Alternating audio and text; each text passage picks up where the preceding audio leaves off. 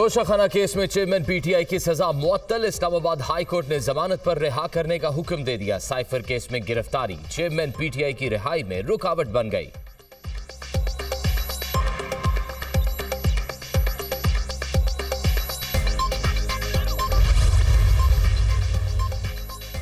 Chief justice اسلام آباد high court کے خلاف سوشل میڈیا مہم چلانے پر حکومت کا کارروائی کا فیصلہ۔ وزارت داخلہ نے چار رکنی مشترکہ تحقیقاتی ٹیم تشکیل دے دی۔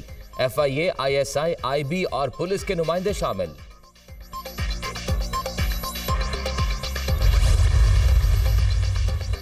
بجلی کے ہوشربا بلوں پر ملک بھر میں احتجاج، عوام کا پارا high. Peshawar Rawalpindi Faisalabad, Murree, Hyderabad سمیت کئی شہروں میں مظاہرے، متعدد مقامات پر بلز نظر آتش۔